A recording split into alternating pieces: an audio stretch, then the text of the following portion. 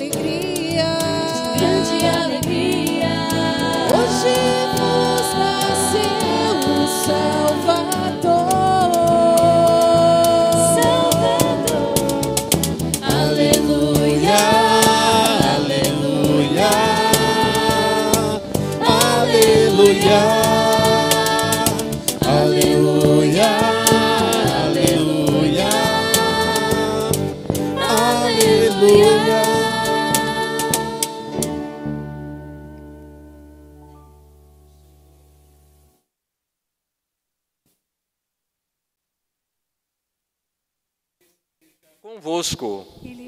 está no meio de nós.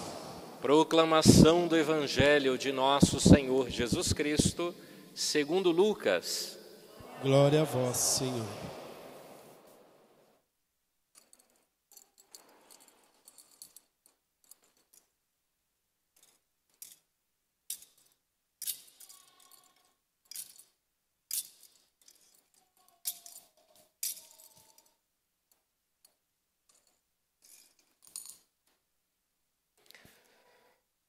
Aconteceu que naqueles dias César Augusto publicou um decreto ordenando o recenseamento de toda a terra. Este primeiro recenseamento foi feito quando Quirino era governador da Síria. Todos iam registrar-se, cada um na sua cidade natal. Por ser da família e da descendência de Davi, José subiu da cidade de Nazaré, na Galiléia, até a cidade de Davi, chamada Belém, na Judéia, para registrar-se com Maria, sua esposa, que estava grávida.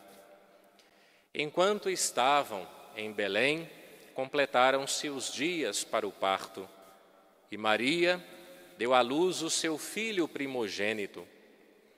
Ela o enfaixou e o colocou na manjedoura, pois não havia lugar para eles na hospedaria. Naquela região havia pastores que passavam a noite nos campos, tomando conta do seu rebanho. Um anjo do Senhor apareceu aos pastores, a glória do Senhor os envolveu em sua luz e eles ficaram com muito medo. O anjo, porém, disse aos pastores: Não tenhais medo. Eu vos anuncio uma grande alegria que será para todo o povo. Hoje, na cidade de Davi, nasceu para vós um Salvador, que é o Cristo Senhor. Isto vos servirá de sinal. Encontrareis um recém-nascido envolvido em faixas e deitado numa manjedoura. E de repente juntou-se ao, anjo uma multidão da corte celeste. Cantavam louvores a Deus, dizendo: Glória a Deus no mais alto dos céus e paz na terra aos homens por Ele amados. Palavra da salvação. Glória a vós, Senhor.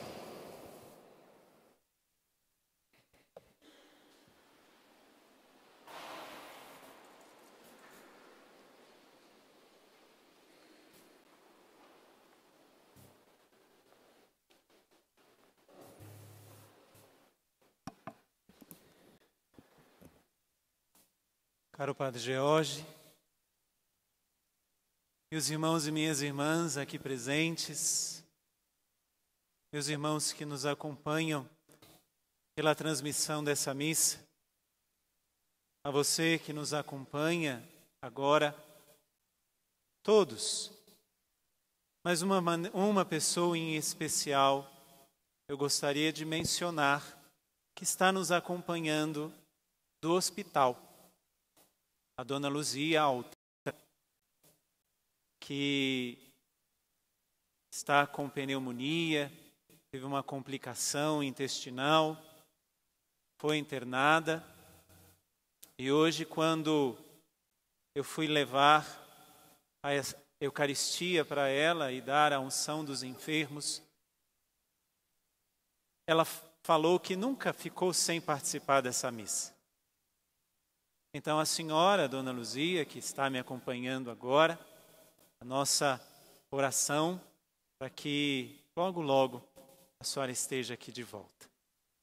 E há tantos outros irmãos e irmãs também, seu Cândido, que não está bem, e tantos outros,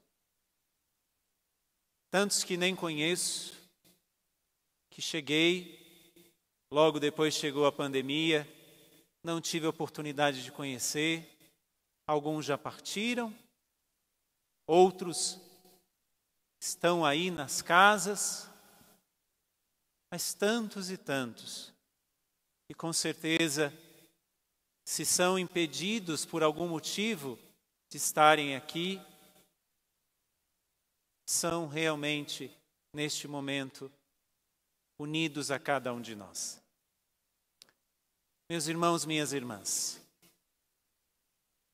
a Páscoa é linda, mas particularmente o que nós estamos celebrando, o Natal, tem um toque diferente.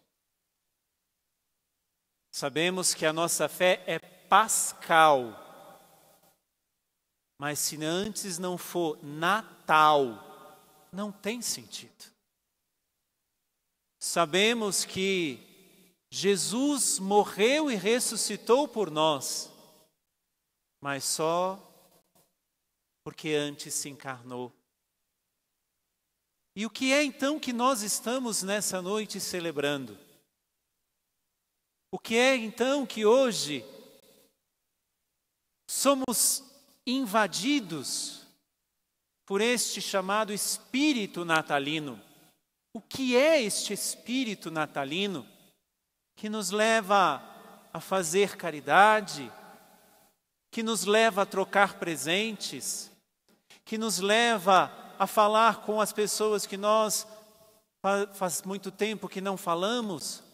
O que é este espírito natalino que invade até mesmo o coração daqueles que podem até não saber quem é Jesus. Sabemos que sem Jesus o Natal não tem sentido, mas quantos e quantos neste dia, hoje e amanhã, são invadidos, e eu digo invadido porque não dão permissão para que, que entre. Então são invadidos mesmo por este espírito natalino e muitas vezes sem nem mesmo saber o sentido, o real sentido do Natal. Muitas vezes nos perdemos, nós que somos aqui de São Paulo, não sei quanto tempo você perdeu nas compras de presentes. Eu não sei se você tem aquele, aquela, aquele prazer de ir, por exemplo, nesta semana que passou, na 25 de março. É 25 de março, não é de dezembro. Mas milhares de pessoas acorrem para lá, aos shoppings, a José Paulino para as mulheres, ao Braz, Largo da Concórdia e tantos e tantos outros centros de compra todos eles com o Papai Noel. Esqueceram de colocar a real figura que deveria estar. Papai Noel não é o mais importante nesse dia. É Jesus Cristo. E eu espero que na sua casa, como eu falei no, no primeiro dia do advento, para aqueles que aqui estavam. Eu espero que na sua casa não tenha somente uma árvore de Natal, nem somente luzes de Natal. Porque se não tiver presépio, com todo o perdão, você é pagão. Se não tiver um presépio, o que é que você está celebrando neste dia? A árvore de Natal? As luzinhas de pisca-pisca? As compras de Natal? O que é que nós estamos celebrando? Primeira coisa que estamos celebrando neste dia, a misericórdia de Deus. Existem várias imagens do que seja a ação misericordiosa do Senhor, mas uma delas é que me chama mais atenção. Pense, você mãe ou você pai, que vê o seu filho que acaba de cair numa enxurrada, está preso ali a pouca, a um galho que seja. Você com seu espírito materno, os pais um pouquinho mais fracos, mas também com o espírito paterno, ao ver o seu filho ali, prestes a morrer naquela enxurrada, você pula, mesmo que você não saiba nadar. O que estamos celebrando é essa imagem da misericórdia de Deus, que não somente do alto quer estender os braços para nós, mas pula na nossa condição. Deus tinha muita, muitas outras coisas para fazer, se nós pudéssemos dizer assim. Mas por amor a cada um de nós, não bastava apenas estender o braço e dizer: Vem que eu te ajudo. Impulsionado pelo seu amor, ele pula na nossa condição, não somente para nos puxar, mas para nos empurrar. É isso que é o Natal. Ele não, durante muitos anos, muitos séculos, foi apenas o braço estendido para que a, a humanidade pudesse sair do buraco que se enfiou. Mas numa noite como essa, ele nasce. Não somente para nos puxar da situação que nós nos encontrávamos, mas para, na mesma situação, nos empurrar para fora desta situação. Se você for uma verdadeira mãe e vê o seu filho numa enxurrada, se você é um verdadeiro pai e você vê o seu filho preso numa enxurrada, num rio ou sei lá o que for, você pula lá para tirar o seu filho de lá. Como não lembrar de uma situação que aconteceu comigo? Nós estávamos em família na represa de Mairiporã. Eu não lembro quantos dias, quantos, quantos anos eu tinha, mas eu era pequeno. E eu gostava de água. E na época meu pai gostava de umas cajibrinas. Nós estávamos num lugar, tinha uma ponte. Meu pai simplesmente me colocou no ombro e falou: segura. Minha mãe deve estar lembrando disso. E ele pula comigo, agarrado ali. Enquanto eu estava caindo da, da ponte com meu pai, eu só ouvia minha mãe: Ibama!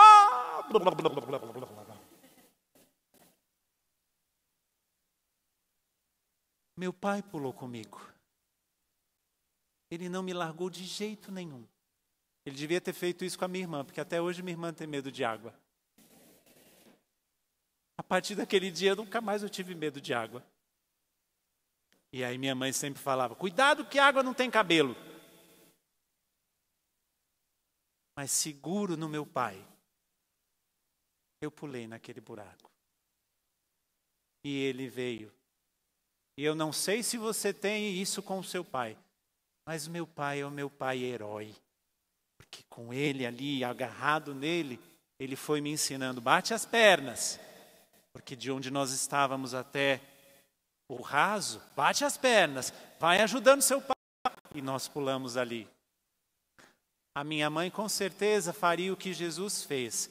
Ela pularia na situação que eu me encontrava. Meu pai não somente pulou comigo, mas me ajudou a sair. Isso é Natal. Uma segunda coisa que acontece no dia de hoje. Nós ouvimos na segunda leitura da carta de São Paulo a Tito, quando diz que ele veio para a salvação de todos os homens, se você quiser pegar. A graça de Deus se manifestou trazendo a salvação para todos os homens.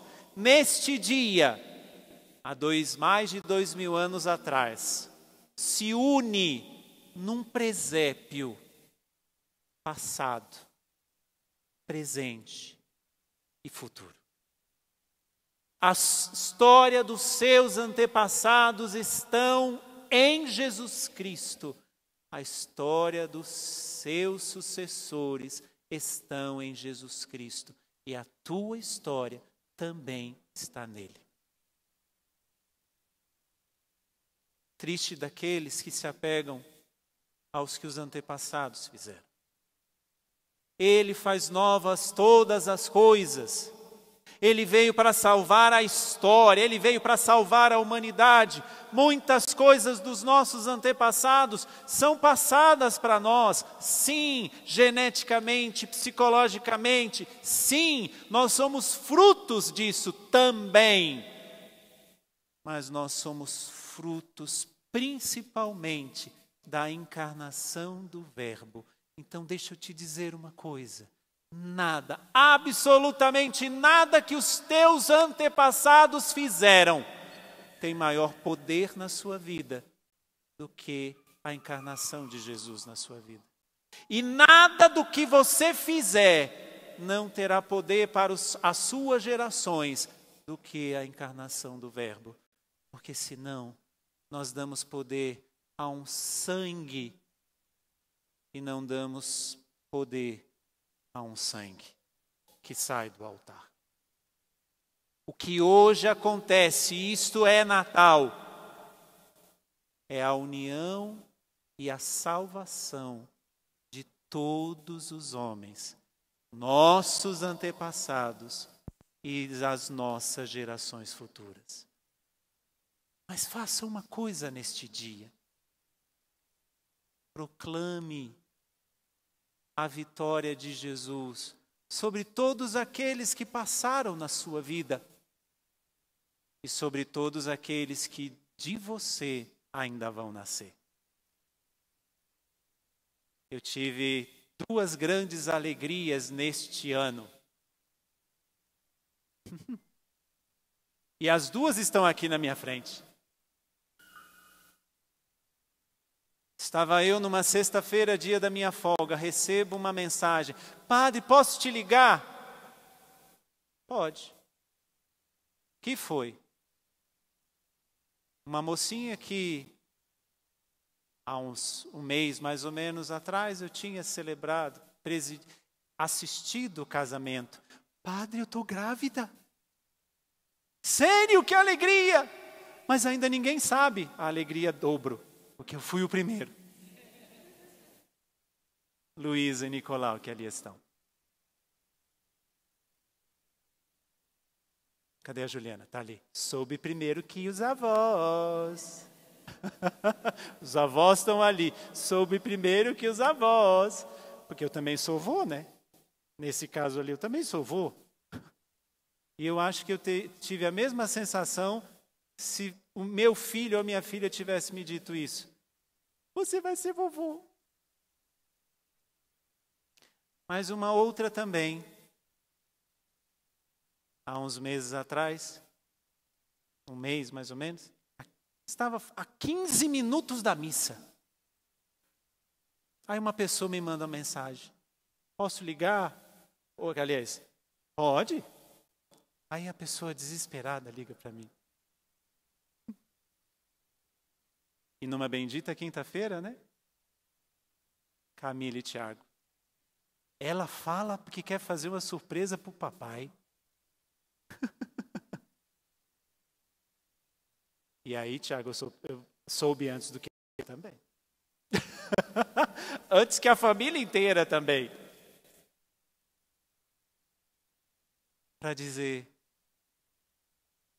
pelo mistério que nós estamos celebrando hoje, o que vem depois de nós e o que veio antes de nós, tudo isso está salvo, como Jesus disse, como São Paulo diz a Tito.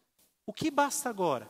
Cada um agora fazer a sua parte e correr atrás dessa salvação. A parte de Deus ele já fez. Cabe a cada um aqui fazer a sua. E não tem como nós fazermos a nossa parte se não entendermos o terceiro sentido do Natal. Esse amor que pula na nossa condição para nos empurrar de lá. Esse amor que faz com que cada um, passado, presente e futuro, esteja em Deus. Esse amor é tão simples e ao mesmo tempo tão forte. O amor que Deus tem por cada um de nós é tão simples e ao mesmo tempo tão forte. Simples por quê? Porque se mostra numa criança. Forte por quê? Porque chega a este extremo. Não tem como pensarmos no mistério do Natal e não unirmos presépio e calvário. Por isso que eu comecei a homilia dizendo da Páscoa, aí você deve ter falado, o padre errou. Não errei, não. Porque não tem como separar a simplicidade do presépio e a força da cruz. Nunca mais choramingue pelos cantos, dizendo que você não é amado. Porque o amor que Deus tem por você é tão simples e nós complicamos tanto. É simples como um presépio, mas é forte como a cruz. É simples como uma criança que nasce, mas é forte como um homem que se entrega. Por isso, que este Natal de 2022 mostre para você que constantemente você está sendo empurrado para fora dos buracos que você se enfia. Que este Natal mostre para você que a sua história dos passados e dos futuros já está em Jesus Cristo. Mas principalmente, que o amor que Deus tem por você não é complicado, é simples como o presépio, mas é forte até a cruz. Que hoje você possa levar para as ceias natalinas apenas uma coisa. O que estamos celebrando não é apenas uma reunião familiar, não é uma troca de presentes, não é um cansaço depois das compras, é um amor incondicional, simples e forte, que estende a mão a você e diz: Quer me seguir?